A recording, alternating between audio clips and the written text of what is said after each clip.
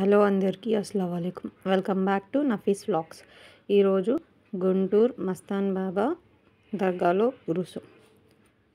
నా నిన్నట నిన్నటి నుంచే ఉరుసు అనేది స్టార్ట్ అవుతుంది. నిన్న నైట్ దర్గా దగ్గర బాంబులు మేళతాళాలు దర్గా ధర్మకర్త రావూరి రామ్మోహన్ గారి ఇంటి దగ్గర నుంచి గంధం అనేది తీసుకొని ఊరేబి ఊరేగింపుగా మొదలవుతుంది.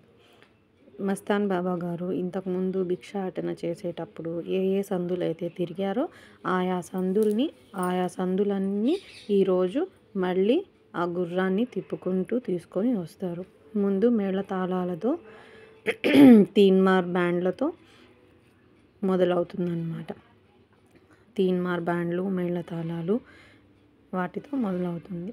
తర్వాత వెనకాల ధూపం వేసే సాంబ్రాణి బండి అనేది వస్తుంది. దాంట్లో మేమందరం తెచ్చుకున్న సాంబ్రాణి కడ్డీలన్నీ వేసాము. వే సాంబ్రాణి కడ్డీలన్నీ వేసాము. ఈరోజు మా అమ్మ తన మొక్కుని తీర్చుకుంటుంది.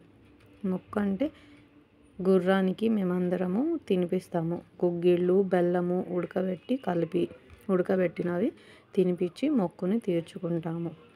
ఈరోజు చాలా ప్రశాంతంగా చాలా నిదానంగా మొక్కు అనేది చెల్లించుకున్నాము. చాలా ప్రశాంతంగా జరిగింది అంతా చాలా మంచిగా జరిగింది. ఈరోజు సాయంత్రం ఆరింటికి గంధం కూడా పంచుతారు దర్గాలో. అక్కడికి కూడా వెళ్తాము. కుదిరితే అక్కడ కూడా ఒక వీడియో తీసి పెడతాను అదంతా.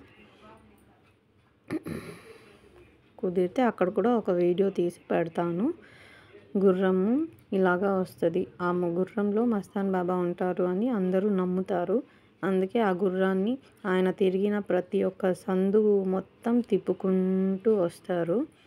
ఆ గుర్ర ఆయన వెనకాలే ఇంకొక రౌండ్గా ఒక చోలీ అనేది ఉంటుంది. అందులో జనాలు అనుకున్న కానుకలు కానుకలు వేస్తారు. ఇది ఈరోజు వ్లాగ్. Thank you.